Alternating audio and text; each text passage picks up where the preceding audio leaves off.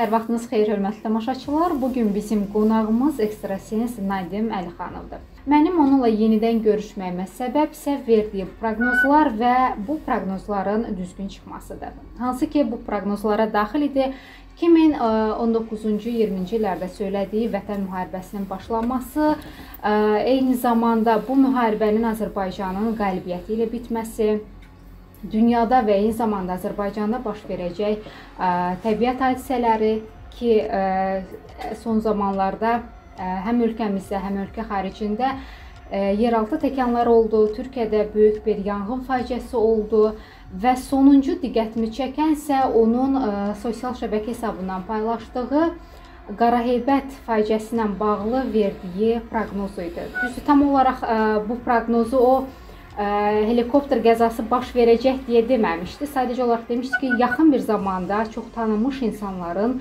ölüm xəbərini eşidəcək və çox təəssüf ki, bu hadisə baş verdi. Məhz bu səbəbdən də mən Nədim bəyin qonağıyam və əminəm ki, siz mənə olduğu kimi sizə də maraqlıdır ki, 2022-ci ildə Azərbaycanı və dünyanı nələr gözləyir? Odur ki, mövzuya başlayaq. Xoş gördük Nədim bəy. Xoş gəlmisiniz, xoş gününüz olsun. Nədim bəy, elə birbaşa suala keçək. 2022-ci ildə Azərbaycanda nələr baş verəcək? Qısa və konkret, Kanal 13 tutduğunuz düzgün mövqeyə görə təşəkkür bildirirəm. Mən izləyirəm Kanal 13-ü. Qısa konkret bu ilin 2022-ci ilin proqnozlarıyla başlayıb demək istəyirəm. Koronavirus var bu dəqiqə əvvəlkindən də çoxdur, əvvəlkindən də can çox aparır. Və bu dünya savaşı başlayıb dünya savaşı başına qarışana qədər gündəmi dünya savaşı və dünyada baş verən başqa təbii fəlakətlər bizim e, başımız ona qarışana qədər koronavirus mövzu olacaq. Amma koronavirus yenə də can alıb davam edəcək. Bu qurtarmayacaq. Amma təbii fəlakətlər bir yandan çox olacağı bir il olacaq. Ya getdikcə bundan sonraki gələn illər daha da çox təbii fəlakətlər baş verəcək. Dünyanın məsəl üçün 100%-dən 40%, 30% ölkələri düzdür. Bütün ölkələrdə çaxnaşma, mitinqlər olublar. Hı -hı. Amma 2022-ci ildə elə bir ab-hava olacaq ki, çünki mən bu ili başlayanda təbii fəlakətlər ili adlandırmışdım sırf olaraq. 2021-ci il. Bəli. Mənim proqnozlarımda var. Hı -hı. Amma 2020-ci il savaş ili adlandırmışdım. Qarabağ müharibəsi 2019-da bunu müzahibə verəndə. Nə isə bunlar baş verdi. Siz də bunu yəqin ki, araşdırır bilirsiniz. Amma sözümün mənası odur ki, 2022-ci 2020-ci ildə bütün dünya təbii fəlakətlər baş alıb getdi. Amerika, Rusiya, meşə yanğın, Türkiyə. Bizim millətimin bir xüsusiyyəti var. Burada bir şey baş verəndə, görəndə, "A" deyirlər. Nəysə. Bu dünyada araşdırsa var. Ee, bir də bir şey demək istəyirəm. Bizim həm bir də bir millətin bir xüsusiyyəti var. Kulisəlçilər, nə bilim türklər, mürtərək nəsə danışanda başqa bir adamlar ha, onlara e, belə şey eləyirlər, falan adamlar deyib. 2015-12-ci illərdə Nadimin dediyi proqnozlar bu gün baş verəndə deyən yoxdur. Nəsə bunu prosta nəyə görə xatırladıram? Bəzi baxan insanlar deyəcək ki, biz də görürük də bu gün. Çünki insan mənə baxanda deyəcək ki, bu dediyi proqnozlara görə biz də bu gün bilirik də savaş olacaq, orada Ukrayna qarışır falan. Elə deyil. Hər zaman bu söhbətlər gedib neçə illərdir, amma savaşın hələ ki konkret e, başladığı ya ili deyilib, ya da ki deyən var, ya da bilən var araşdırmacılar deyə-deyə gedir. Siz elə ə, sosial şəbəkə çıxışlarınızda daima deyirsiniz ki, 3-cü dünya müharibəsi yaxınlaşır. Bəli. Ə, ölkələr artıq buna hazırdır. Sizcə 3-cü dünya müharibəsinin başlamasına səbəb nə olacaq? 3-cü dünya müharibəsi mən 2013-cü ildən dedim başla e, baş 2013-cü ildə verdiyi proqnozlardan başlayaraq 2000 bugünkü günə qədər 2020-ci ildə artıq koronavirus dünya müharibəsi başlandı. O da bir soyuq silahdır, gözə görünməyən. Millətin bir xüsusiyyəti var. Gözə görən silah bir partlayış, bir ölüm olanda qorxuya düşür. Gözə görməyən bir şey olanda, ölüm aparanda sanki bunlara çatmır. Təsəvvür ki, Qarabağda nə qədər adam var. Bizim müharibədə e, rəhmətə gedəndən 2 qat, 3 qat demək olar e, şəhidlərdən çox koronavirus Koronadan apardı. Yəni buna baxan, buna göz eləyən, buna konkret bir şeylə yoxdur. Bir iki dənə tədbir qururlar. Heç bu dünya səviyyəsində e, bunu yaradılmış soyuq silah və dünya müharibəsinin görünməyən bir tərəfidir. Əslində müharibə gedir 2020-dən. Amma 2022-ci ilə iki dənə böyük ölkələrin maraqlarının üstündə. Bax indi hal-hazırda Ukrayna ilə Rusiyadan söhbət Bəli. gedir. Hər kəs ondan danışır. Ukrayna-Rusiya münasibətləri gərgindir. Digər tərəfdən də ABŞ ə, deyir ki, əgər Rusiya Ukraynaya hücum eləsə, çox ciddi sanksiyalar əl atacaq. Yəni bu da onu göstərir ki, eyni zamanda Rusiyanın Amerika ilə münasibətləri də gərginləşir. E, Lamia xanım, sizə bir şey deyim də. Vəbşətə dünya hər ölkənin, hər bir rayonun idarə, hər bir evin idarə elədiyi başçı olan kimi dünyanın da bir başçısı var idarə edən. Bizə elə gəlirlər, biz onu görə bilmirik. Biz çoxları deyirik Allahın əlində də Allah hər şey. Allah bizi yaradıb da, Allah bir təbiətdir, yaranmışıq yaradıblar. Necə olur ki, bu Allah gözəl bir Allah masonlara, dünya idarə edən insanlara belə şərait yaratsınlar ki, onlar yesin, keyf eləsin, nə bilim nəsə eləsin, qara cəmaət ölür. Ölən nəsə olan ancaq qara cəmaət olur.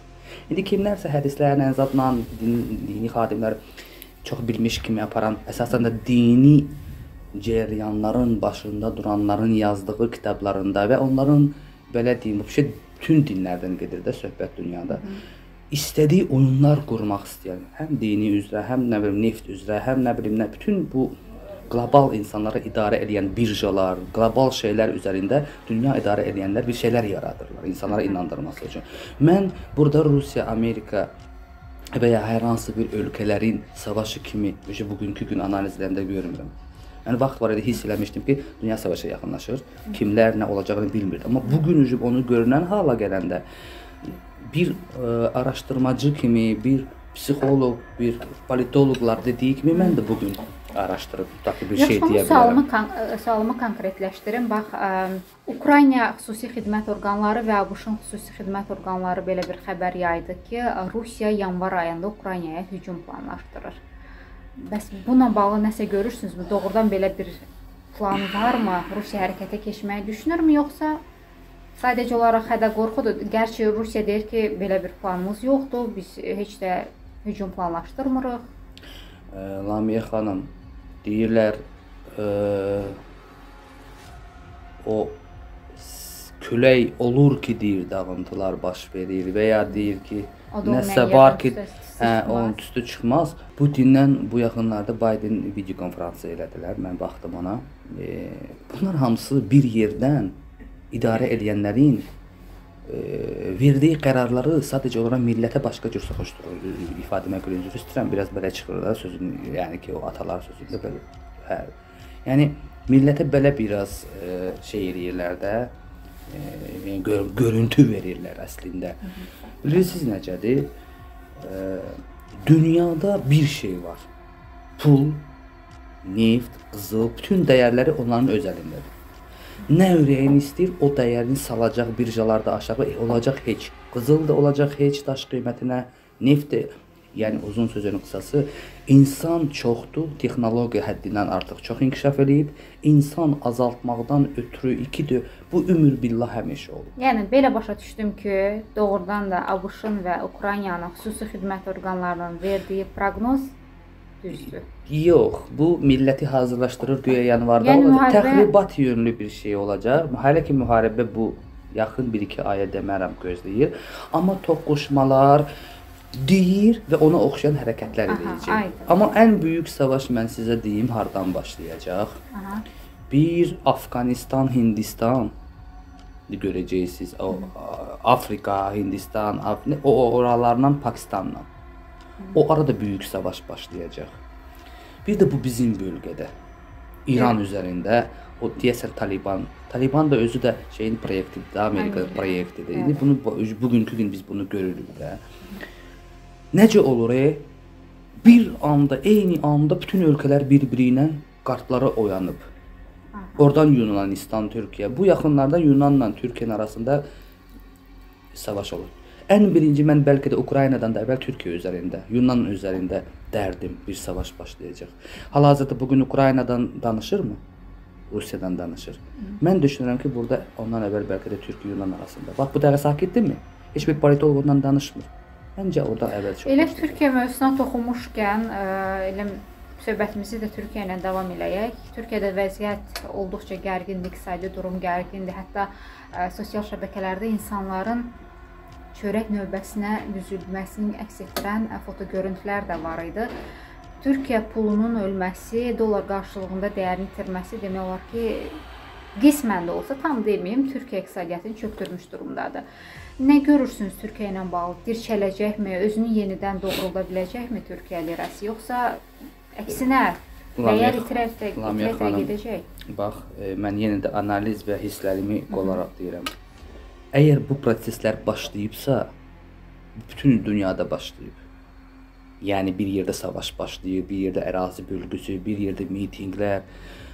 Biz prosta bu o bir Baltika ölkələri və ya Avropa və ya Amerika yanında ölkələrdə olan iqtisadi durumlardan bizə o qədər çatmır deyə məlumat. Biz elə bilirik ki, orada sakitdir.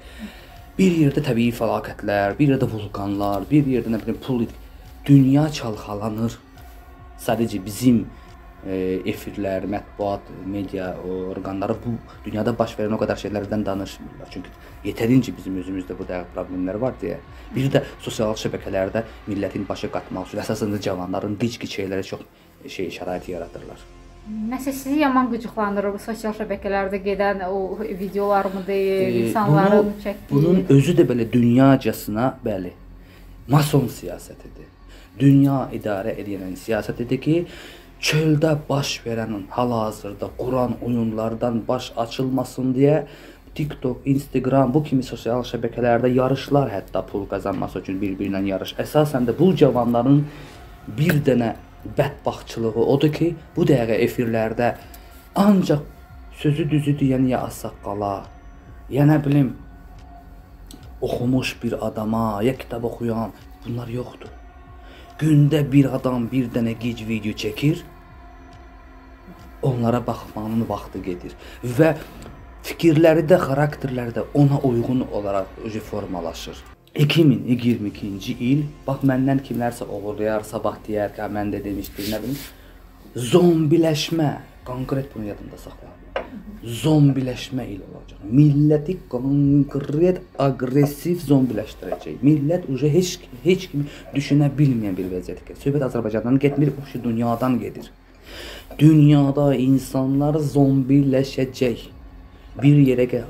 Zombiləşmiş insanlar da 3 tərəfə bölünür. Birilər harası gizli bir yerlərdə gedib özünün başını qorumaq. Kim ən çoxu da 70% insanlar böyüklərə əsəb, nervi, aclıq, bunlarla mitinqlər. Dünya özü bir mitinqlər bürüyəcək. Və bunların da siyasətin başında duran liderləri, ölkə başçıları və ya masonun özlərinin siyasətinə qulaq asan adamlar bir-biri ilə ölkələr dalaşaraq təbii ki, informasiya, çünki özləri təhlükəsizliyi altındadır. Onlara nə? Savaşlara gətirəcək, dünya savaşa gətirib çıxardacaq. Bu 2022-ci e, ilin Üşə görünən konkret hal olacaq ki, bəli, biz dünya savaşına üşə artıq nöqtəni basmış olacağıq. Aydındır. Qayıdaqla Azərbaycana son vaxtlar Azərbaycanın gündəmini ə, siyasi məhbus məsələləri tutur. Daha dəqiq desəm, hal-hazırda həbsdə olan AXÇB üzvü keçmiş Gədəbəyin icra başçısı Salih Rüstəmovun durumu bildiyiniz kimi artıq 1 aydan artıqdır ki, o acılıq aksiyası keçirir. Həkimlər onun vəziyyətinin son dərəcədə ağır olduğunu deyir. Mənə maraqlıdır. Siz onun gələcək taleyi ilə bağlı nə görürsünüz? Azadlığa çıxacaqmı?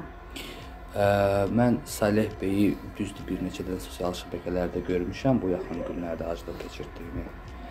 E, bizim prezidentimiz e, cənab İlham Əliyev çox e, belə ürəyi belə şeylərə pis baxan adam deyil. Yəni ki, yumşaq adamdır düşünürəm. Yəni mən inanmıram ki, onun ölümünə qədər gətirib çıxar. Ona tezliklə xəbər çatacaq. Bəlkə bəzi qurumlar kimlərsə ona hələ ki xəbər çatdırmayıb, bilmir.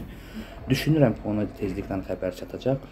Bir neçə ay ərzindəmi, həftəmi, günmü ərzində ona qərar verəcək, onu inandıracaqlar ki, bizi Yəni buraxacaq. 2022-ci ildə onu azadlıqda görürsüz. 2022-ci ildə onu azadlıqda görürəm. Hətta bir dənə jurnalist var idi, Əfqan muxtarlı idi. Yox, Əfqan muxtarlar azadlıqda deyil. Siz onun azadlığa çıxmasına bağlı Hə, hə, proqnoz hə. verin. Hal-hazırda Bəli, ə, demişdim. Hətta Sadıq- ələ insanı onun çıxacağını Bəli, demişdi. ə, hal-hazırda həbsdə olan jurnalist səhv etmirəmsə Əfqan Sadıqovdur. Hə, hə, hə, o arvadı da bütün gün jurnalist Bəli, gedir, bəli. şey edir. Onu azadlıqda görürsüz. Bəli, onu da 2022-ci ildə azadlıqda görürəm. Bəs Amma ə, 2020-ci ilin sonlarına yaxın görürəm onu azadlıqda. Əfqana Bəli.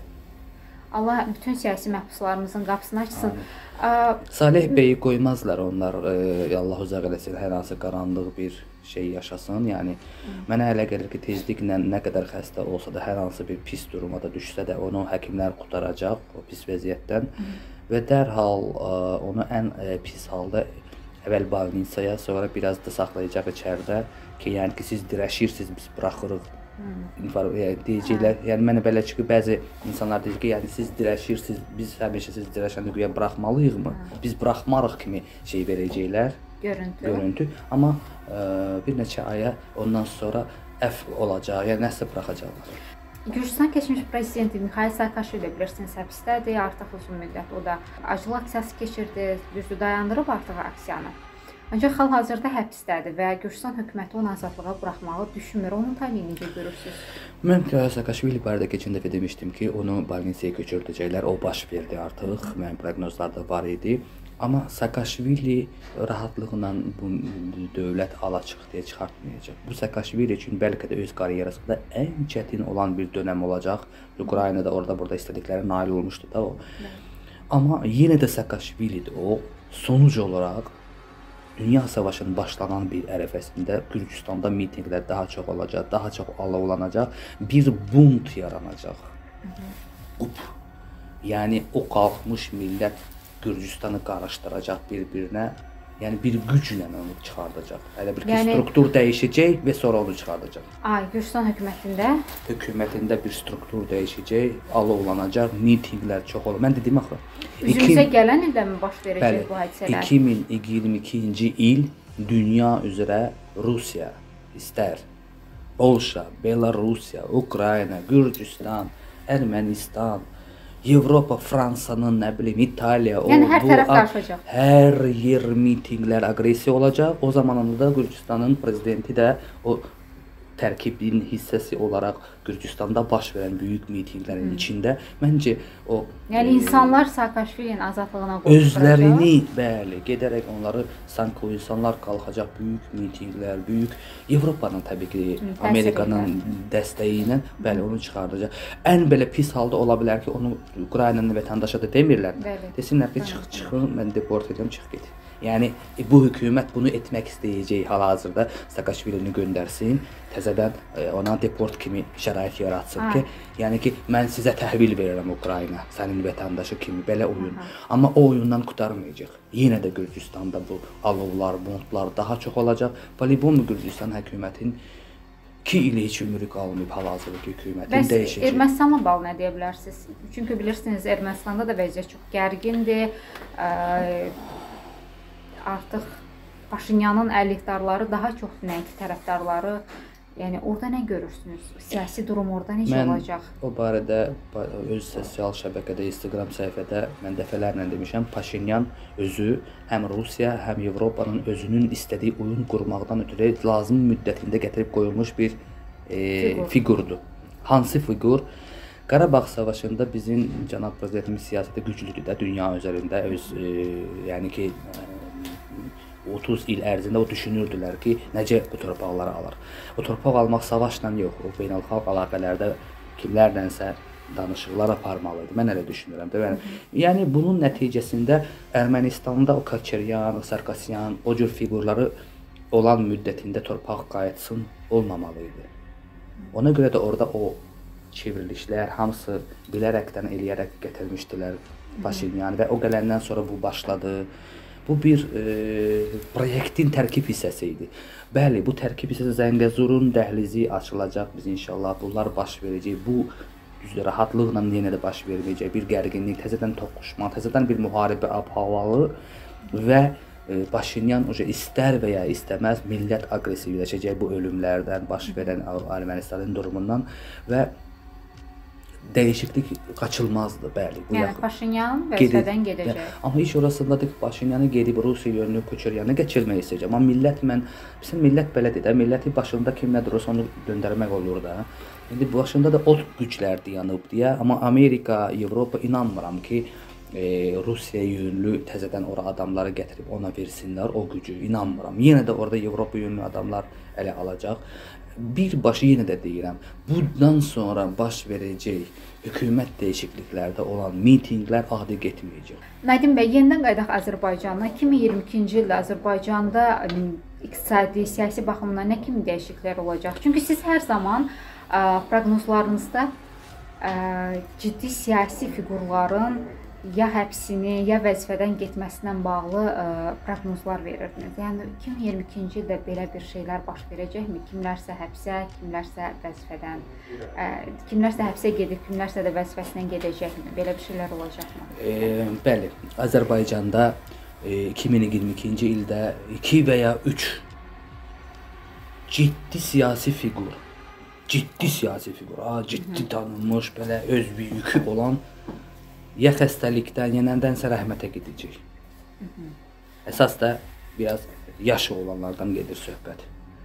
Yəni Azərbaycan üçün siyasətdə ən önəmli olan fiqurlardan ya 2 ya 3 adam rəhmətə gedir. Bəlkə də çox da ola bilər. Yəni söhbət adi deputatdan zatdan getmir. Ya vaxtı ilə nazir işləmiş, ya indi nə bilim nasir vəzifədə işləyən ciddi 3 dənə fiqur gedəcək. Biri də onlar içində xanım olacaq. Onun kim olduğunu da mənim gözümə gəlir. 80-dən çox yaşı var. O yaşa görə demirəm ha. Bəlkə 2022-də ölməyəcək o adam. Bəlkə 2020. Yəni o yüzdən mən elə hiss edirəm. Həm o adam deputat olub, həm tanınmış bir şəxsdir, nə isə. Dünyasını dəyişəcək. O olacaq və bir iki dənə də başqa adamlar. Ciddi Azərbaycanda e, siyasi fiqurlarında işləmiş, siyasi güclərində olan tanınmış şəxslərdən rəhmətə gedənlər hiss edirəm. Bəs həbslər necə? və bir çox həbsləri davam edəcək, bəli, həbslər davam edəcək və dedim axı dünya mitinqlər bürüyəcək. Və bizdə də hansısa kənar güclərin əli ilə çalışacaqlar bu kimi şeylər eləməyə. Kimlər ki o şeylərin başında durub, onlar ki eləmək istəyəcək, ölkə içində qarışdırır, onların çoxlu adamların tutulmaları baş verəcək. Bəli, bizdə də çoxlu fiqurların həm e, rəhmətə getməsi, həm də e, həbsləri olacaq bu ildə. Vəbşi çox qarışan bir dünya tərkibindən gedən prosesdən bizə də birazdan azdan çoxdan e, pay düşəcək. Bəli, çünki bu dünyada, bu regionda baş verən şey dünya güclərin əlindən eləyir. İstər-istəməz bizə də bu toxunmadan getməyəcək. Və ha belə təzədən mən bunu demək istəyirəm, üzr istəyirəm, hər kəs bunu eşitsin dünyada baş verən hal-hazırda dünyada baş verən bu prosesləri dünya müharibəyə doğru aparıb gətirməlidir axı. Və yenə də deyirəm, dünya müharibə əvvəl daxilində olan böyük mitinqlərdən başlayacaq və iki ölkələrin arasında olan e, proseslərdən başlayacaq və aqressiyalı dolu bir il dedim ha, zombiləşmiş millətin. Bir tərəfdən sosial şəbəkələrdə gic-gic yarışlar, insanlar, bir tərəfdən də siyasətdə ölümlər və ha belə böyük terrorlar ilə olacaq. Mən bax bunu deyim. Böyük stadionlarda, konsertlərdə, mitinqlərdə böyük partlatmalar, partlamalar olacaq. Ha belə daji e, liderləri, bəzi ölkələrin, bəzi ölkələrin liderləri qədər ola bilər sui-qəsdə uğrayacaq. Bunu görəcəyik biz 2020-2023-cü illərin içində.